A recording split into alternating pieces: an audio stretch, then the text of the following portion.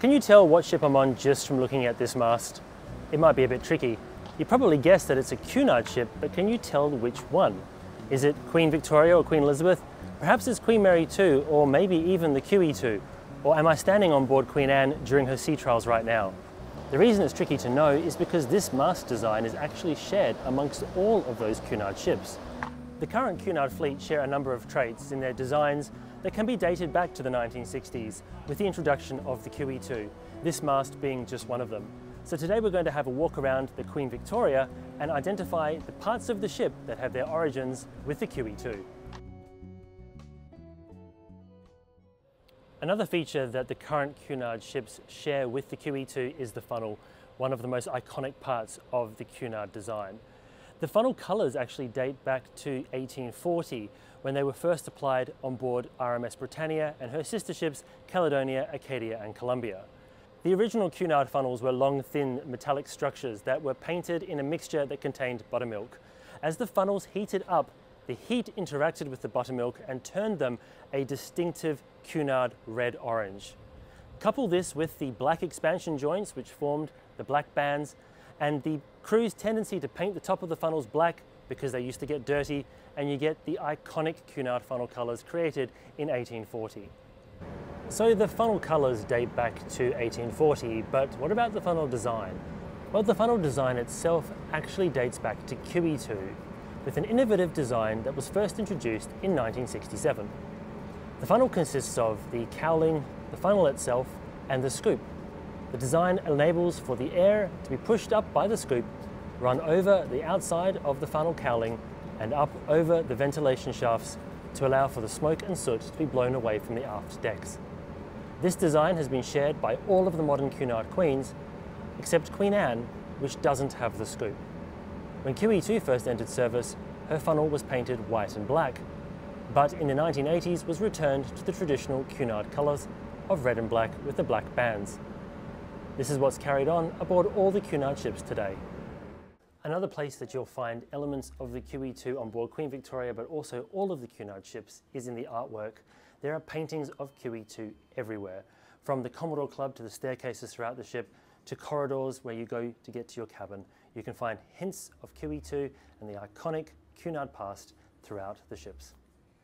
The Club Lido was introduced on board QE2 when she started operating cruises and it was later renamed the Lido during her 1994 refit. You will find the Lido restaurant also on board Queen Victoria and Queen Elizabeth, but not on Queen Anne or on Queen Mary 2. And yes, this is actually how tall I am, and this is how low this bulkhead is. They should make these Vista classes a little bit higher. This is the yacht club on board Queen Victoria. It's had this name since 2017. Before its big refit, it was actually called Hemispheres but there have been yacht clubs on board Cunard ships since QE2 in 1987. The first yacht club was installed aboard the QE2 during the major re-engineering project in Bremerhaven, and since they have carried yacht clubs on Queen Victoria, but also Queen Elizabeth as well. You might not know this, but the original plans for Queen Mary 2 also contained a yacht club, but when the ship entered service, the nightclub was called G32. The bookshop and the neighbouring library were also signature rooms on board QE2.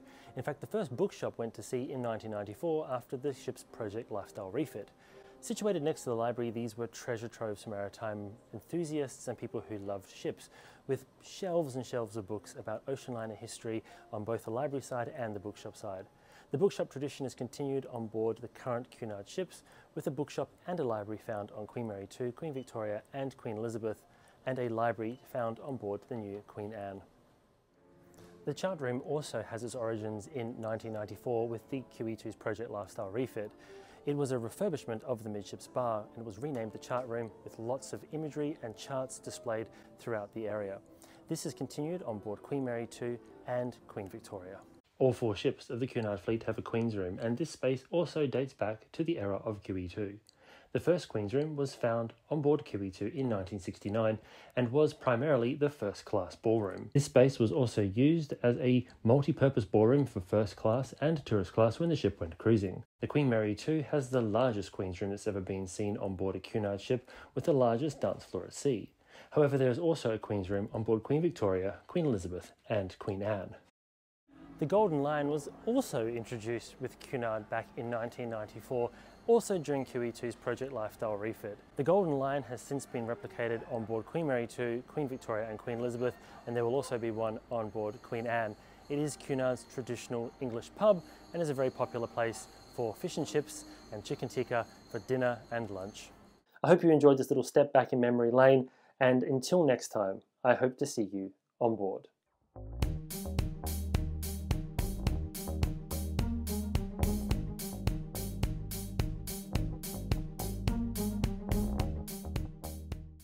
Buttermilk and as the heat of the funnel increased that were painted with a mix the original Cunard ah! either. Not a script at all. Do we do bloopers in this one, do you think? Yes, sir. When the ship underwent a refit, it used to be called Hemispheres, and this music is too loud for me to be talking, so you won't be able to hear a word that I'm saying.